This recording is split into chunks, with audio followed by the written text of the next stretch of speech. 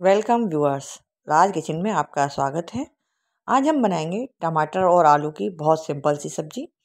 यह बहुत टेस्टी बनती है और ये पूड़ी पराठों, रोटी सभी के साथ बहुत अच्छी लगती है। एक बार आप इसे बना करके देखें, यह आपको अवश्य पसंद आएगी।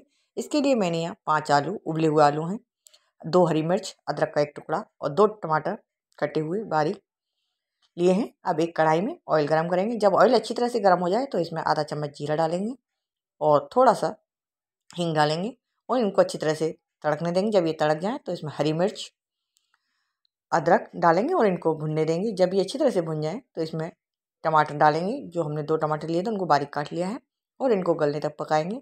जब ये अच्छी तरह से गल जाएँ, तब इसमें मसाले डालेंगे। इसमें मैंने यहाँ धनिया पाउडर, दो चम्मच धनिया पाउडर लिया है, आधा चम्मच हल्दी पाउडर, आधा चम्मच लाल मिर्च पाउडर और इसमें देगी मिर्च पाउडर डालेंगे, आधा चम्मच और आधा चम्मच गरम मसाला डालेंगे और इन सब मसालों को अच्छी तरह से मसाले के साथ भून लेंगे टमाटरों के साथ में और इनको अच्छी तरह से मैश, टमाटरों को मैश हो जाने देंगे। टमाटर मैश हो जाए, तब इसमें जो हमने आलू लिए थे, उनको हाथों से तोड़ लेंगे।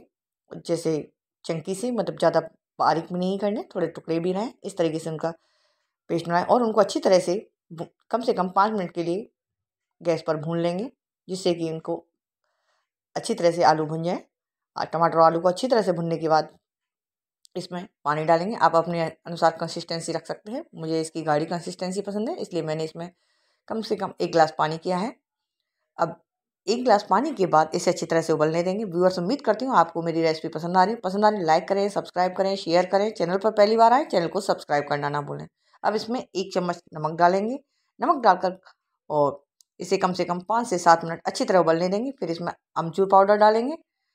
एक चम्मच अमचूर पाउडर डाला है और हरा धनिया डालेंगे और आपकी टमाटर